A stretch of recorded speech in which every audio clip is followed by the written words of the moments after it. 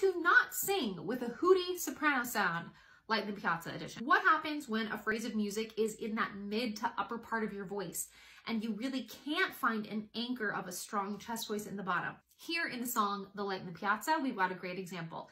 Near the end of the song, we are sustaining long notes in the middle part of our voice, going into the upper part of our voice. Now, someone who is maybe not using a strong full mix or a mix technique might sound like. Do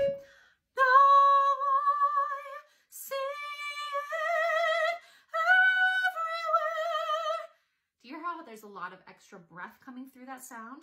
Now, what if we lean into a true mix voice or mix sensation or mix coordination? What happens then?